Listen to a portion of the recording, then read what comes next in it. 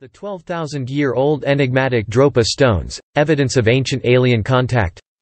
The mysterious discovery of these 12,000-year-old Dropa stones was allegedly made in 1930.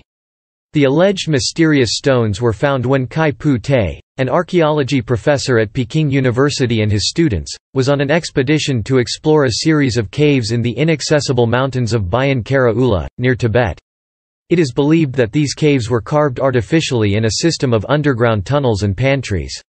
It is said that Professor Kai Pu Te and his students found tombs with skeletons of 1.38 meters 4 feet 6 in, in height buried inside them. The skeletons had abnormally large heads and small, thin and fragile bodies. In addition to the skeletal remains, Professor Kai Pu Te and his students found numerous other items. It was also suggested by theorists that these skeletal remains could have belonged to an unknown species of a mountain gorilla, but Professor Kai Pu Te did not agree. Who ever heard about monkeys burying each other? Kai Pu Te. There were no short notes honoring the deceased on the tombs, but instead, the team found more than 700 stone discs dropa stones, with 8 cm holes in diameter at their centers. Carvings of the rising sun, the moon, stars, the earth, mountains, and dotted lines linking the earth with the sky were discovered on the walls of the caves. The discs and the cave paintings are said to date approximately 12,000 years. Their whereabouts remain a mystery even today. The alleged finding raised numerous questions. What were the enigmatic discs, and where did the star maps carved on the cave walls lead to? Each dropa disc, reportedly, was inscribed with two thin grooves that spiral from the edge to the central hole. It is believed that the mysterious 12,000-year-old dropa discs and other items found during the expedition were kept at the Peking University for 20 years.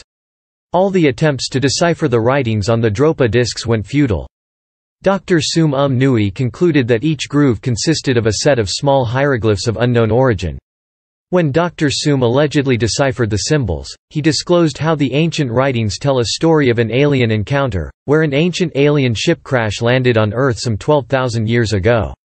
According to Dr. Tsum Um Nui, one of the hieroglyphic lines read, The Dropas came down from the clouds in their aircraft. Our men, women, and children hid in the caves ten times before sunrise.